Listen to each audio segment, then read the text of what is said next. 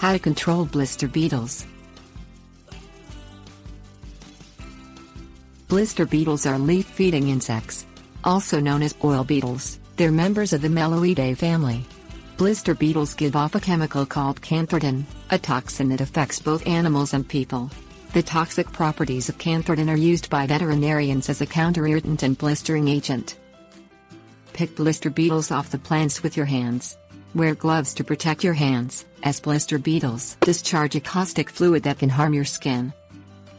Leave wide rows between plantings or clear out the surrounding weeds, grass and plants. Blister beetles will not cross wide rows, and they do not like to enter empty spaces. Keep blister beetles away with horseradish. Put the horseradish root in water and use it as a spray. Brush the blister beetles into pans of kerosene or kill them with systemic poisons or contact insecticides. Dust your infected plants with equal parts of lime and flour. Do this at the warmest time of the day. Harvest your crops before bloom. Blister beetles live in swarms or colonies, and they feed on many types of blossoms and foliage. This includes field crops such as vegetables, vines, trees and flowers. Use a registered insecticide before you harvest if blister beetles are present.